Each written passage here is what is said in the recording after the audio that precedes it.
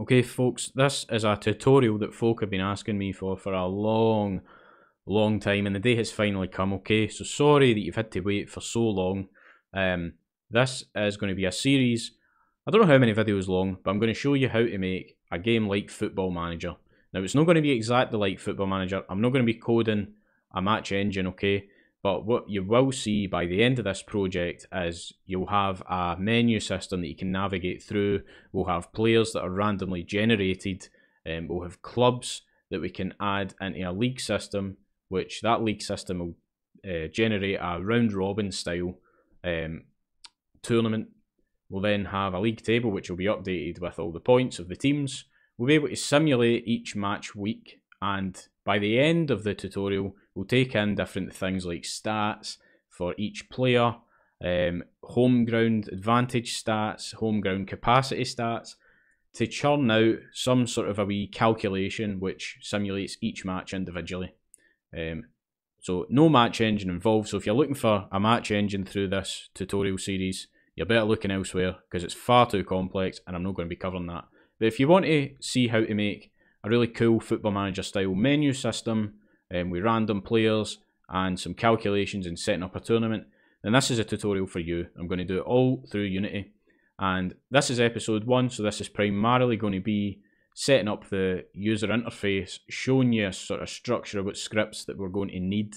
Um, and by the end of this tutorial, you're going to have a user interface like this, which these are all hard-coded values, but we'll be able to navigate through. So we can click a club here to go and view its details and then we can see the details on that club.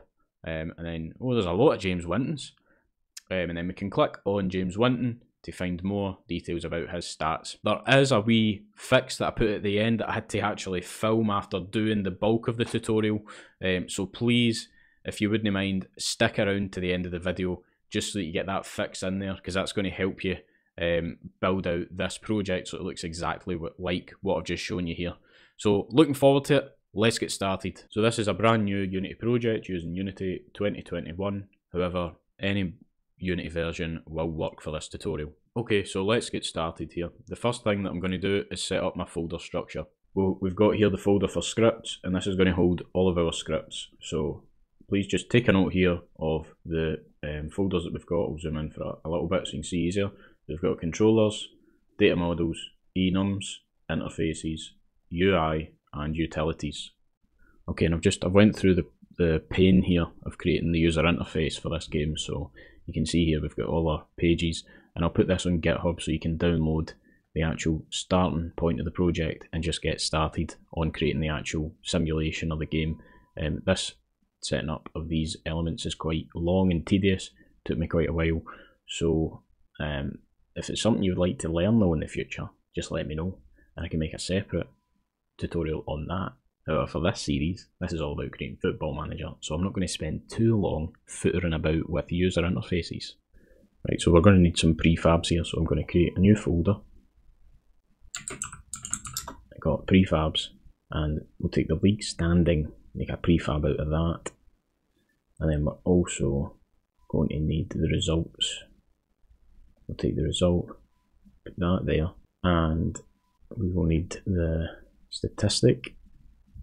Basically, all the things that we're going to need to recreate for different players or different clubs with different stats. We'll need the, the roster as well. The player. Okay, so the next thing I need you to do here is go into your utilities folder and add in a new script called link handler. And the code that you want to add into this just now as as following. So we want to implement the I pointer click handler interface here, which will then prompt you to implement this method on pointer click. That essentially registers a click of the mouse. What we then do is we access the link that's within that text and if there is a link in the text, um, we'll get the link info, we pass it as a string onto handle link clicked, and then we've got some logic to implement here, which we'll get to in a second. Um, but right now, we just uh, print this out to the console. So I'll show you how that works. So I have added this into my first league standing, which is the very first placed club. I know they all look the same and they all have the same text, but the very first one at the top here has got in the text component of the team name. So it's got, you'll see in the inspector, it's got the text mesh pro text, but it's also got our link handler class because I've added it in. If we look here at the text value, it's not just club 1872 United FC, it's enclosed, and if you know HTML, this might look familiar. It's enclosed in a link tab with the value club underscore one. So you can see I've clicked it already, but if I clear that, click the name, and then we can see club underscore one was the link clicked. So we can now use that to access different parts of the interface. And where is this going to be used? You might be asking. So this is going to be used on player. So if you come into your prefabs now, we can set these up. So player name will have this class link handler because we'll be linking from player names. You'll be able to click on the player name from a team, um, for a, from a club or whatever, and go onto that player profile. So we'll have link handler on this player prefab. Result, we'll have it on the team one name and also the team two name. Basically, any instance where we see this, um, we see a team name or a player name, we want to add this click handler just so that we can easily navigate through. Um, and then the original one that I did here was league standing, so we'll add it here. So what I've done there is I went to league standing prefab, added it to team name, added link handler, went to player, found player name, and done the same thing, link handler, and then result, I've added it twice. I've added it to team one name and team two name. I'm now going to implement the logic in the handle link click here, and then I'll show you what that looks like. Okay, so I've updated this method again here. So what we do now is we take the um, we take this the link ID and we split it by this slash, and then we check for errors in the formatting. If there's no errors, we carry on. We get the first part of that. So before the slash, that is the type, and then after the slash is going to be the ID. So if you want to navigate to uh, James Woods or whatever, James Woods is a player with the ID six it would be player slash six. If you were to navigate to Rangers FC, which is the club with the ID 25, it would be club slash 25. Sort of like a URL on a web page, if you imagine it that way. So if we come back and I have applied that, so I've updated here the link structure to be a wee bit more simple, wee bit more familiar. So I've updated that in the player name um, here, and I've updated that in the um, the league the league table as well. So I'm just going to click the top team, click to club with ID one, and I've actually from copying and pasting I've logged that as an error. Um, but it's not an error, I'm just telling it to log as an error, but that's good, that's working the way we want it to. We've got no way to navigate the now, so I'm just going to manually um, enable and disable. So again, I manually added this here. This is all going to be dynamic data in the future, but just to make sure we've got everything set up, this should say player with ID 1, and it does. So now we can recognize what's a player and what's a club, and that is done by this link value here in our player, uh, where is it? Player text has got a link value. So I just said that we can't navigate. We need to be able to navigate, and that is the next thing that we're going to do.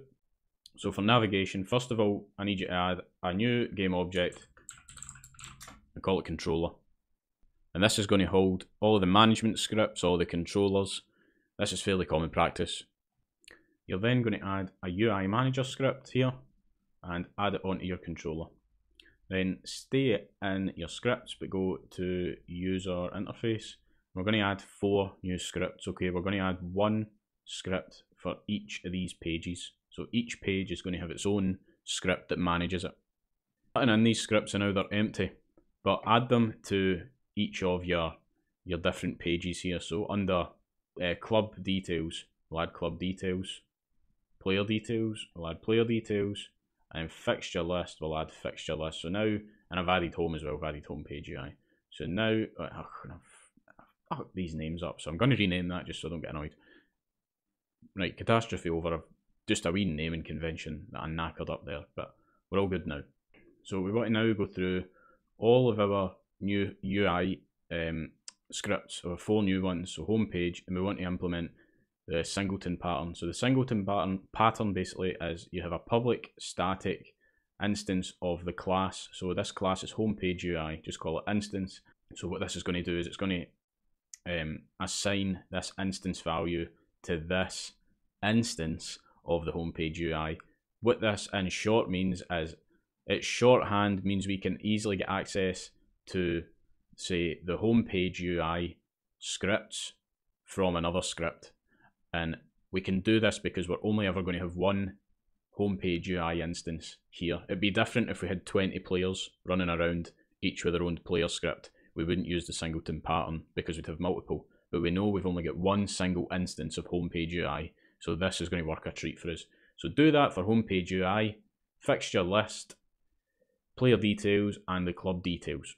Right, so I've wrote a bit of pseudocode here in this UI manager. First of all though, what you do want is you want to add reference to all of the UI elements, and then we just assign them here in the um, awake method again, and I've added as well a singleton for the UI manager. But the UI manager is going to be the one manager that basically ties all of these UI elements together. You could imagine it as the manager sitting at the top, and the UI scripts are the wee workers that fiddle around underneath, but the UI manager tells them what to do. These methods don't exist, I've still to implement them, but I wanted to show you something here that we're going to be writing the same bit of code four times here.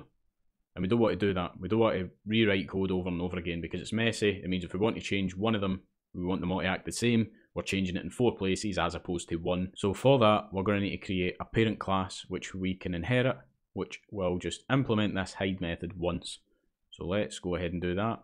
Come back into Unity and create UI page. Now, what is your UI page going to do? What's going to have this hide? So this is how your UI page is going to look.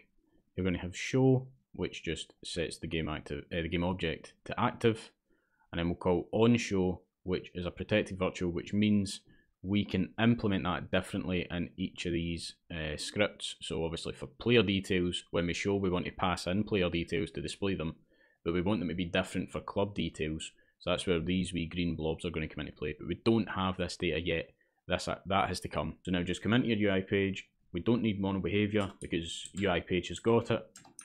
Home page UI now just inherits from UI page, and we can do the same for the rest.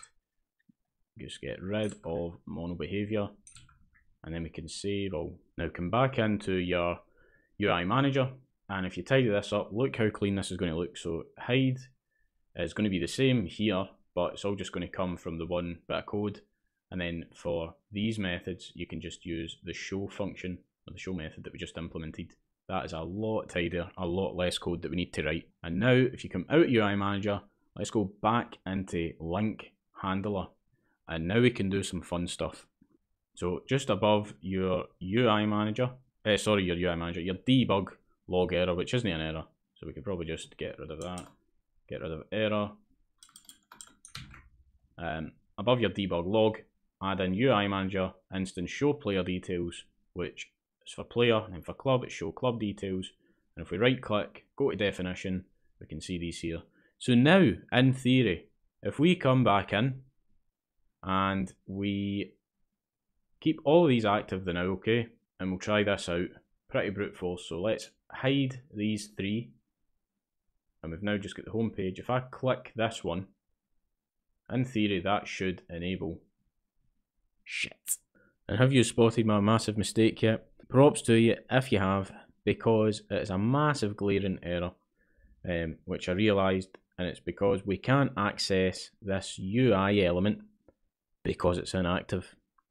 So one way we can fix this is instead of setting um, the UI element to inactive here, we can scale it up and down. And this is actually a much better approach to take anyway, because the set active, if you're doing it constantly, which for a game like this you would be doing it constantly, is a lot more um, expensive in terms of your processing power than it is to scale up and down. Um, so we're actually just going to take that approach now. And then one more problem that we can solve here, which I just came across, is take and your UI manager, take your um, UI instances when you're mapping them here out of awake because I had them in awake and that's causing some issues or it will cause some issues and put them into start so just so we can give these time to initiate now let's come back in and just to test this I'm going to go I'm going to select the three here that aren't homepage go to scale on the right, just make the X zero, and then click the top one which has got my link handler, and then we see we go into the club details. If we click James Winton, which is the top one, which I've hard um, coded that link handler onto, I've added that through to the, the game object and the inspector, and it takes you onto the player details. And this is very bare bones as you can see, nothing actually means anything, it's all just placeholder, but that's just how we can navigate through the UI. We'll probably as well, we'll add um, that link handler onto this bit here, but um, that is where I'm going to leave this tutorial. Maybe went a wee bit longer than it should have. There was a couple of errors there, but we, which we came across in the code. I want you to know that I'm doing this real time as I film it as well. This isn't something that I've got built up in the background because I want to share with you some issues that you might come across. If I come across bugs or problems in my code, I want to share it with you real time and then you can see how I go about sorting that. So there was some some mistakes I made along the way. I've got a rough plan of how this is going to go. I know how the game is going to look at the end, um, but I'm coding this all in real time. So if you enjoyed this, episode 2 will be along very soon. And please, you would help out the channel a lot by liking, subscribing if you want to see more, then you'll get access to the rest of this tutorial as soon as it goes live. So cheers folks, and I'll catch you in part 2. Here's a last wee bit that you might want to add here, which I forgot to show you. So that we're not having to go in in the inspector every time you run the game. In your UI manager, just at the end of your start method, just call show homepage, okay? And then that means every time we load the game, we will be taken straight to the homepage as opposed to having to, you know, hard code values and then we can just start navigating through there. Cheers! If you found this video useful, please help out my channel by liking and subscribing if you want to see more Unity or game dev related videos. If there's a particular video or tutorial you would enjoy or learn much from, then drop a comment on this video and I'll do my best to respond. Cheers!